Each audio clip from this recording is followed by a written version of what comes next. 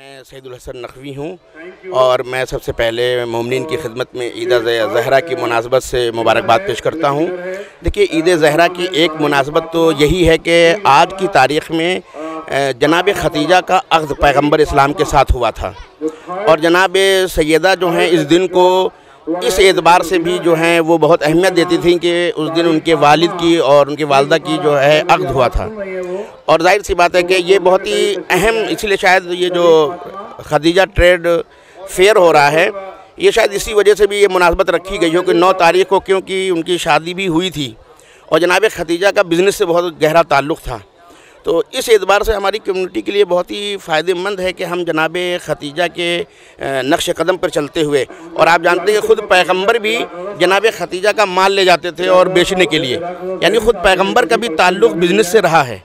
تو ایک طرف جناب ختیجہ بھی بزنس سے ریلیٹڈ تھیں اور دوسری طرف سے جناب پیغمبر اسلام بھی بزنس سے ریلیٹڈ تھے۔ تو آج یہ بہت اچھا اور پھر ہمارے پیغمبر نے کام کے سلسلے میں بہت ہی اہمیت دی ہے یعنی کام کرنے کو بہت زیادہ فضیلت مانا ہے۔ کہا کہ وہ لوگ جو کسی ہنر سے وابستہ ہیں، کسی فن سے وابستہ ہیں، کسی کام سے وابستہ ہیں، تو اللہ ان کو دوست رکھتا ہے۔ ظاہر سی بات ہے کہ یہ بہت ہی اچھا موقع ہے کہ یہاں پر ہم نے دیکھا کہ عید زہرہ کو ہم عملی شکل دے رہے ہیں۔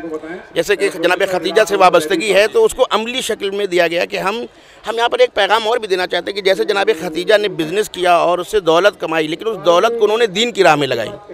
تو ایسے ہی ہماری کمیونٹی کے لوگ بھی جو ہیں وہ بزنس کریں اور کمائیں اور کمانے کے ساتھ ساتھ اپنے دین کو کے اوپر بھی توجہ دیں اور جیسے جناب ختیجہ نے دین پہ پیسہ لگایا، ویسے ہی ہم بھی، ہمارے بزنس میں بھی دین کی تبلیغ اور نشر و اشاعت میں پیسہ لگائیں۔ بہرحال میں اپنی پبلک سے یہ کہنا چاہوں گا، آج عید نو ربی الاول ہے اور اس کی ایک مناسبت یہ بھی ہے کہ کیونکہ وہ عمر سعد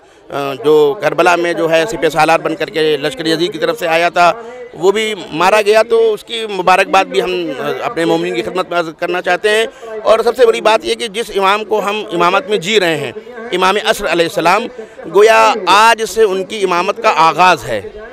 اور وہ امامت، جن کی امامت کے سائے میں ہم زندہ رہ رہے تو ہمیں کوشش کرنی چاہیے کہ ہم اس نو ربی الاول کو اس اعتبار سے کہ ہم عہد کریں۔ کہ ہم امام کی امامت سے متمسک ہوں گے اور ان کی جو تعلیم ہے اس کو فالو کریں گے اور ہم انشاءاللہ اپنے کو اس قابل بنائیں کہ جب وہ آئیں تو ہم ان کی نصرت کر سکیں اور ہم آپ کے بھی شکر گزار ہیں کہ آپ محنت کر رہے ہیں اور دین کا میسج اور سماج کا میسج اور کمیونٹی کا میسج لوگوں تک پہنچا رہے ہیں۔ اللہ آپ کی محنت کو بھی قبول فرمائیں